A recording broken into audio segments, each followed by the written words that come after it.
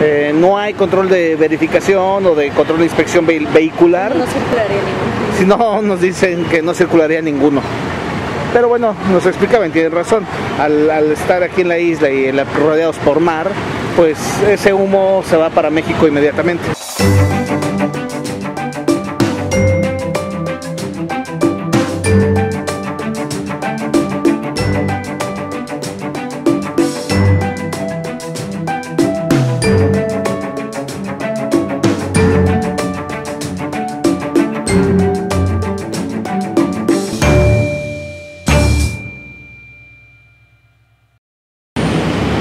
Este es video de los carros. Vamos a poner a prueba mi sapiencia de carros. No, eso sí no los conozco. Pero miren los carros que hay aquí. Todos los carros que hay son de los 50 que fue cuando les hicieron el bloqueo. De repente uno que otro de los 60 Hay otros y los más nuevos o los que son más comunes nuevos o los que hay muchos son rusos. Gorbachev les mandaba coches. Entonces hay ese que está allá, a ver, vamos a ver si lo alcanzamos antes de que se vaya. Ese blanco es un Lada, ya se va. Es un auto ruso. Entonces tenemos muchos de esos y muchos de estos, son los más comunes. Hay otro modelo que es el Moscovich. A ver si pasa uno ahorita que estamos aquí grabando carros. No se ve. Ahorita les explico de los modernos. Bueno, no se ve el Moscovich. Y después nos explicaba uno de nuestros tantos guía taxistas que la gente importantiosa de aquí de Cuba, artistas, eh, supongo políticos, puede importar el coche mientras esté viviendo aquí, el coche que él quiera.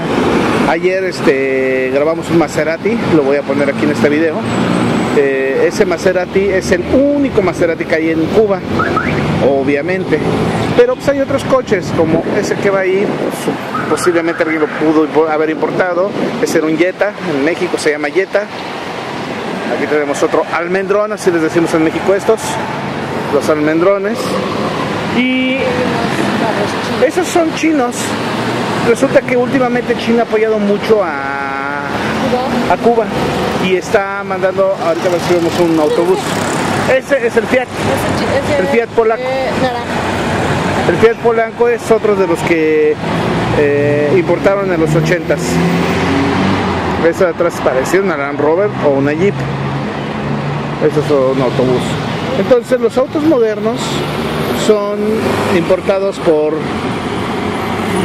por este gente gente famosa aquí en Cuba gente poderosa y ya después si se van de la isla o si ellos quieren venderlo o regalarlo o lo que ellos quieran ellos lo, ellos lo pueden hacer. Ese es otro lado. Entonces otra cosa que nos explicaron son las placas. Las placas de los coches hay unas placas blancas totalmente como esas de esos dos. Esas placas significa, significa que el coche es propio, es de ellos. Y hay otras placas, vamos a ver si vienen otras. No, aquí todas son blancas ahorita. Placas azules, vamos a ver, a ver si me da el zoom hasta allá. Esos los que están ahí, tienen placas azules. Cuando son placas que tienen algo azul, ahí se alcanza a ver, son placas del gobierno. Ese autobús que pasó es chino. Esas son placas del gobierno, del estado. Entonces esas placas son, quieren decir que son coches del estado. Entonces son coches que el estado eh, adquiere y los subarrenda. Eh, aquí los taxistas lo que hacen es sub- subarrendar los coches, le pagan al gobierno un firulais mensual por tener, tener el coche. Ahí va otro Ahí va, Fiat. Fiat. Ese es otro Fiat. ¿Para qué los usaban? Nos explicaron.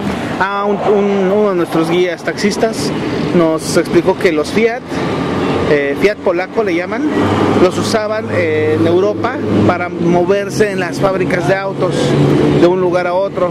Eran muy pequeñitos y no estaban acondicionados para andar en la carretera o andar en la ciudad o en la calle, eran un coche nada más para moverse dentro de las fábricas. Y pues aquí ese coche anda de punta a punta en toda la isla, eso no, no importa. Aquí están otros almendrones. Eh, no hay control de verificación o de control de inspección ve- vehicular. No circularía ningún. Si no, nos dicen que no circularía ninguno. Pero bueno, nos explicaban, tienen razón. Al, al estar aquí en la isla y en la- rodeados por mar, pues ese humo se va para México inmediatamente. Está otro. Ahí está otro Fiat. Es el que le gustó a Maris.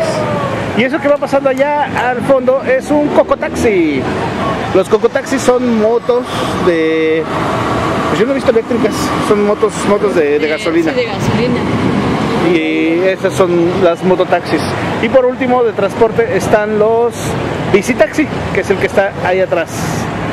Allá tenemos el cocotaxi, el bicitaxi. Y los taxis también, bueno, están esos, los taxis amarillos, que son como los modernos. Y los taxis, allá tenemos un sitio de taxis, donde hay muchos taxis chinos, son los que últimamente el gobierno chino ha apoyado y están los clásicos que son pues, básicamente los almendrones, los coches de los 50, eh, Cadillacs convertibles, que ya, ya también vamos a poner aquí en el video porque ya, ya nos tocó subirnos a uno de esos. Miren, ahí va el Coco Taxi en su plenitud.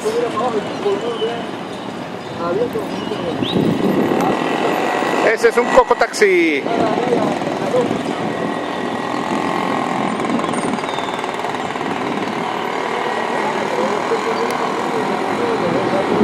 Vamos a seguir grabando aquí uno que otro auto, unos minutitos a ver qué vemos. Estos son los famosos autobuses chinos. Los guaguas que le llaman aquí. Otro dato, eh, no hay autos americanos, por lo mismo del bloqueo, están como, como prohibidos. Sí hemos visto uno que otro moderno, pero no, la verdad no. Hay Audis, hay Toyotas, hay Peugeot, vemos mucho Peugeot, como que Francia sí les echa la manita. Pero autos americanos, pues después de los 50 ya no hubo más. Otro tipo de autobús más, más corto, más chaparritos. Bueno, ese no sé si es como turístico. Me suena que es más como turístico. ¿La moto? El autobús, Ah, sí. más turístico. Motos, también hay motos. No hay muchas. Yo pensé que iba a haber más motos. Como en Vietnam. Pero no, no, no hay, no hay muchas motos. Miren, ahí está un almendrón, un chino. El chino es marca, yo no lo había, yo no lo había visto. Es marca Glee, Glee o algo así, ahorita lo confirmamos. Pero ese, ese es chino. El de atrás es un ruso y más atrás está un almendrón, así como enfrente está un almendrón. Ya le echamos almendrones porque son Ford, son Chev- Chevrolet. La verdad no los identifico, no, no, no, no, los conozco. Otro autobús chino. Y ese es un Lada como el que nos subimos. Lo pondremos aquí también. O ya lo pusimos. taxi. Hay unos camiones rusos que ya no he visto. Eh, Cuando llegamos vi unos camiones rusos muy, muy chéveres. Así como de los 50, parecen como de la, de la guerra.